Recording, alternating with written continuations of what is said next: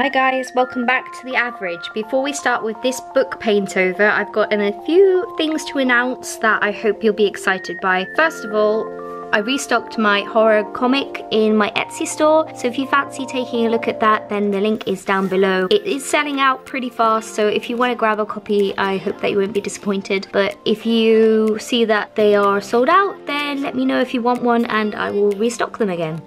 Also, ARRTX have given me the opportunity to help you guys out win some lovely goodies. So first off, we have the opportunity to win this Paul Rubens sketchbook, this amazing gouache paints that I recently reviewed that a lot of you seem to like, and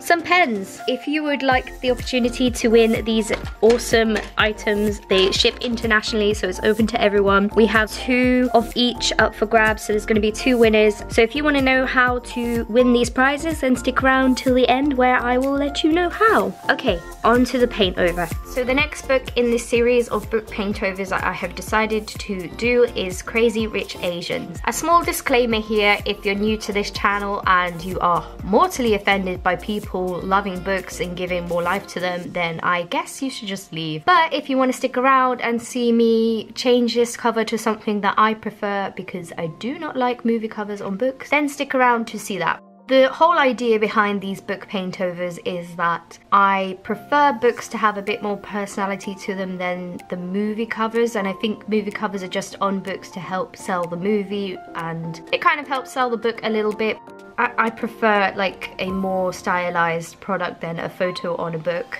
And you may disagree with that and that's totally fine that's your decision. But today we are gonna delete this movie cover which actually I don't think is too bad. I just recently read Crazy Rich Asians this week and I think the film cover actually kind of suits the style of book that it is I haven't seen the film yet, but I'm intending to watch it later. But I think this cover overall is alright. There are some elements to it that I'm not a huge fan of. I really like the embossing and the gold um, lettering here. Sometimes I don't put titles on books or the author's name because I just like that to have a piece of a book with just a stylized cover on it. So I think that might be the case today.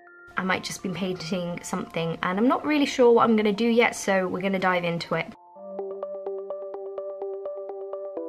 So about the book, I really enjoyed this fun story. It is a bit of fun. It's not super serious. It's about a couple called um, Nick and Rachel and Nick is a Singaporean, very rich, rich dude. His family are supposedly billionaires in the book and it's kind of about how much crazy wealth that they have and her coming to meet his family in Singapore and realizing that she definitely doesn't fit in with this crowd who are wanting to give her the cold shoulder and it's the classic story of you're not good enough for our rich family and I am here for it.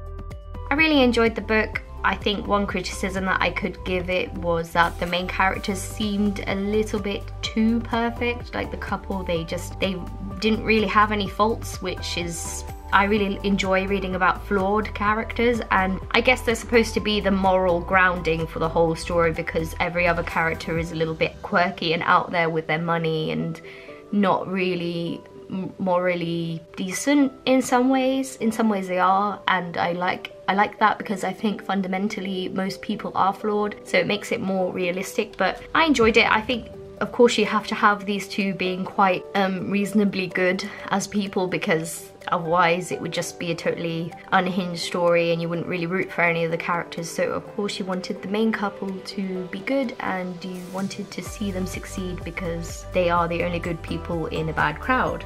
I really enjoyed reading about all this uh, crazy lifestyle that people lead in Singapore in these rich families and how they have thousands and thousands of dollars to spend on all sorts of items and you know like crazy amounts of jewelry, houses, houses, like multiple houses in different countries, how they had private jets and and it's fun to imagine living in that world a little bit, especially when you're never gonna reach that kind of level of richness. And I think like the main character, it didn't really bother, like money didn't bother her, but I think anybody who's struggled financially would go into a world like that and be totally out of depth. It, it's like it would be like a culture shock, really, I, I'd say. So what I thought would be cool to do for the cover is do something completely different, quite wacky and abstract because I wanted her to be the main feature because I do feel like she is the main pivotal character in the story. I know there is Nick and her, but I feel like she is the the root of the story. So I think I wanted to make her the central figure of the cover because it's mainly about her struggle. I don't think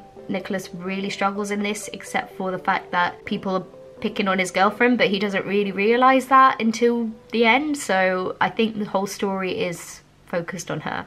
She's the centralized figure of this uh, cover and then I wanted to have sort of abstract shapes to indicate the sort of culture shock that maybe she was feeling throughout the book and beautiful things happening on around her and I think that indicates the sort of mood and feel of the book without giving too much away so I hope that that works. So to talk about the illustration a little bit more or the process of it rather I had a little bit of struggle with this book cover because when I laid down the Poscas, I think the cover is a bit too glossy for the Poscas. So this time around it was a little bit difficult to use them and layer them. So I do like a layer and then wait a little while for it to dry and then layer them again and see if that worked. And in some places it's a little bit patchy.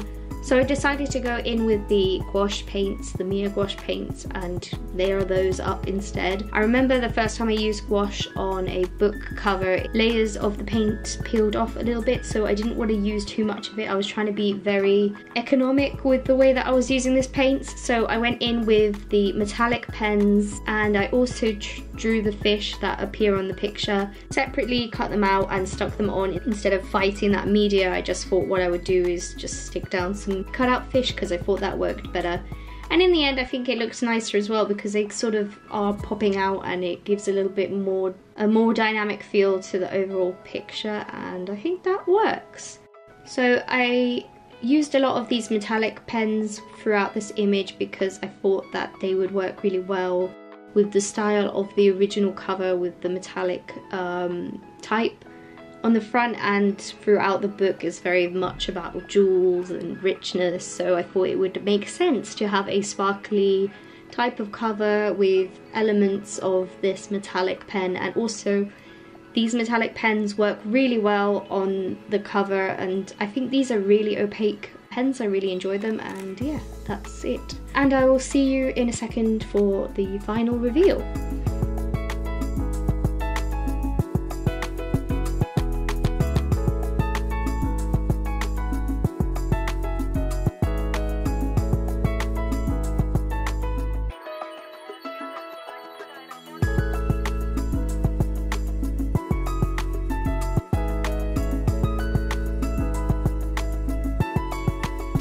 Okay, so I think that's the final paint over. I think it's missing something a little bit in this area, but I'm not really sure what to do, and I think I'm afraid of overworking it at this point. So this is the final look of the book, and I'm really pleased with how the metallic pens sort of worked out on this. I think it really works well with the kind of content within the book with all the, you know, crazy money and richness and shininess, and I really like this. I think the fish popping out really works quite well. If you've read the story then you might know the significance of a fish, and I think it tied well up to into what I was saying before about her being the moral center of the story and in this abstract world of like this cultural shock. And yeah that's the final book paint over and I hope you enjoyed it. Now to talk a little bit about the competition again, if you would like to win what I said in the beginning, the Mia gouache paints, which are these ones, the watercolor pens and a Paul Rubens watercolor sketchbook, please make sure that you are following both ARRTX and me on Instagram and just comment on the picture of this book saying that you would like to win. That's all you have to do really and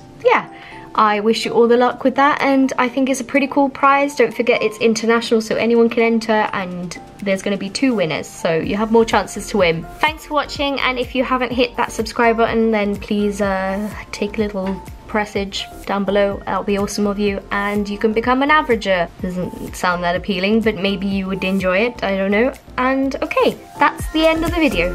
Thanks guys. Bye